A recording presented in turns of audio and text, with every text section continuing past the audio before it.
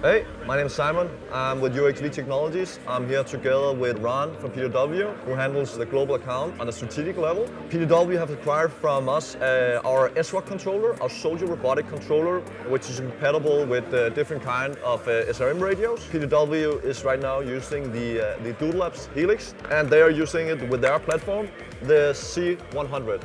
So Ron, I would like to ask you if you can elaborate on some of the key features for this controller and how it interacts with your platform. Absolutely, Simon. I appreciate you uh, inviting me over. So the UXV controller is specifically important to PDW because of the MIL standard and the IP rating.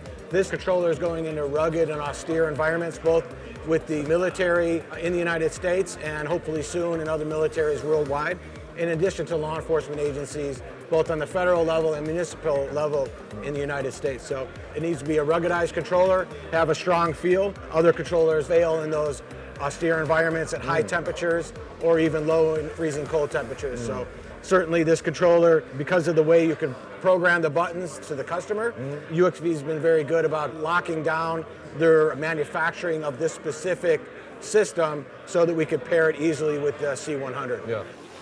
The software we're using is Q Ground Control to control the aircraft and bring all the data in on that stream.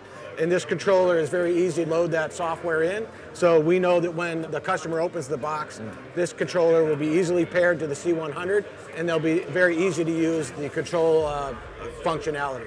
The main offering for the PDW C100 is the 74 minutes of flight time in a slick configuration. Additionally, with our mechanical drop release device, you can drop approximately 10 pounds of payload. Thanks a lot, Ron, and thanks again for our cooperation. We appreciate a lot of you guys and working with you. I appreciate it. Thanks, Simon, for thanks the partnership. Thanks a lot, Ron.